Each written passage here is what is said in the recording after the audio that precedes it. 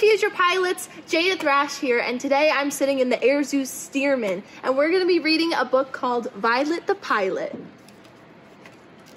Everyone in town knew that Violet Van, Van Winkle was a little different. For starters, she and her parents lived in an odd looking house next to the junkyard her father managed. And while other girls were playing with dolls and tea sets, Violet played with monkey wrenches and needle nose pliers. Violet was a mechanical genius. By the time she was two, she could fix almost any broken appliance in the house. By four, she could take apart the grandfather clock and completely reassemble it. Since she didn't have any friends aside from her dog Orville, she would spend hours tinkering with things from the yard. Violet's parents were very proud of her, although they weren't too happy the time she put a lawnmower engine on her cousin's tricycle. The older she got, the more interesting Violet's creations became. Around the time she turned eight, she was building elaborate machines from scratch. And not just any old machines, flying machines. Her parents couldn't believe their eyes when they saw Violet zoom by for the first time. They were a little worried in the beginning because they quickly saw that she was a pretty good pilot. Careful not to hit the house, father's pi- Violet's father would yell and put on a sweater, her mother would add. Violet used anything she could find in the junkyard to make her wonderful contraptions. There was the tub bubbler and the bicycopter, the rocket can, the pogo plane, the slide glider, and the wigamajig, to name a few. Violet's engineering was pretty sound. The only real hazards were tall trees, piles of junk in the yard, and bugs in her teeth. Kids at school would see Violet eating lunch alone and make fun of her strange books and greasy overalls. Claude and Clyde Mulrooney were especially obnoxious. Then one day, Violet noticed a poster in the drugstore window. Air Show, October 20th, it read. That's only two weeks away, Violet thought. Can kids fly in the show? Is homemade aircraft allowed? That night, Violet sat in her room thinking about the air show. She knew it would be a good feeling if one of her planes won a prize, and maybe then the kids at school would be nice to her. Violet pictured exactly where she would hang her blue ribbon.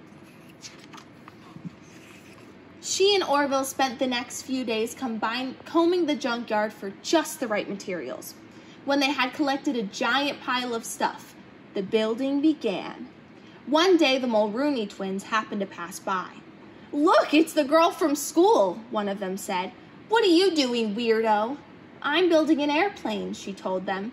The twins exploded in laughter, then mumbled something mean as they walked away. Orville barked at the boys, but Violet just went back to her project. Take it easy, buddy, she said. We're too busy to worry, to worry about them.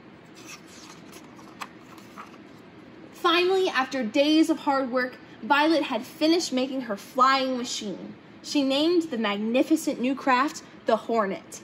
Wait till people in the grandstand see me flying this, Violet said to Orville. The test flight was a success.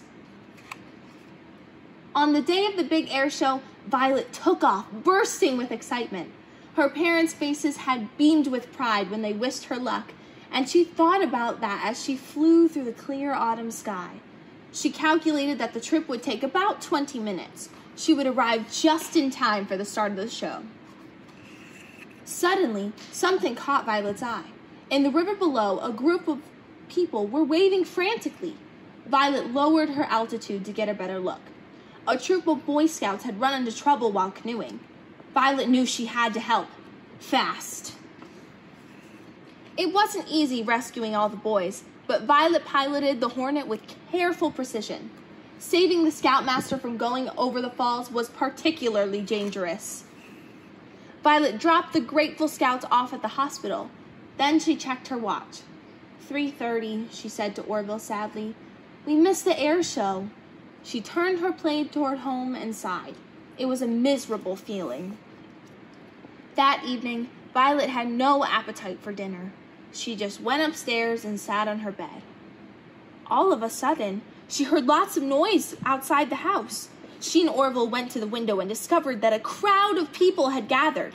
Somebody spotted her. There's Violet, the boy shouted jubilantly. There's our hero.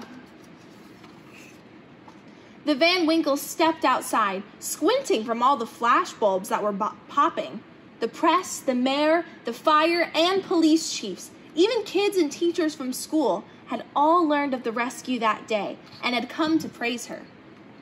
Young lady, please accept this Medal of Valor as a token of our gratitude and esteem, said the mayor, and he gave Orville a new collar with a license that read K9 Hero. From that day on, Violet's parents let her fly whenever she wanted. But her mom still made her wear a sweater. The end. Well, I hope you all enjoyed that story, and hopefully, you all are staying safe and staying indoors. I can't wait to see you all very soon here at the Air Zoo.